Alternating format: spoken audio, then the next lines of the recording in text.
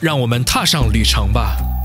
旅程会有曲折，我们也可能会多次走错路，感到疲惫。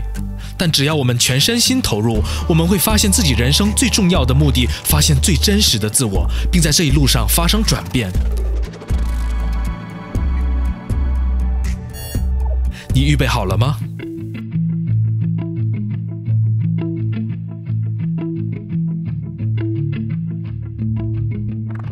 我们来谈谈成圣的恩典。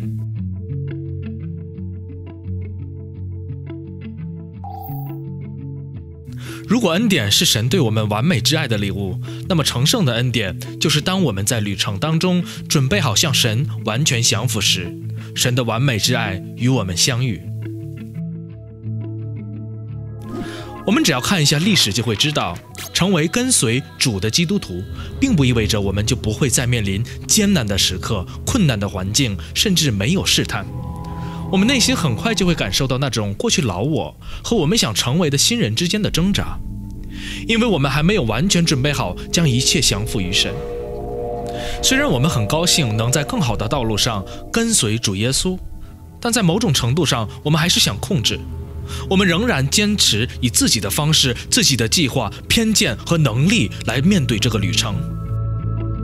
但当我们准备好无论如何都要跟随神，准备好以神的方式和能力来走这段旅程的时候，我们就是允许圣灵大能的给我们加添力量，并在我们的心中开始那更加深刻和改变更大的工作。成圣的恩典是神在我们降服的那一刻与我们相遇，此刻我们会认识到自己的有限，并让圣灵告诉我们如何行在神的方式中。这就像我们曾一直认为自己可以赤脚行路，而神却给我们穿上了便利的登山鞋。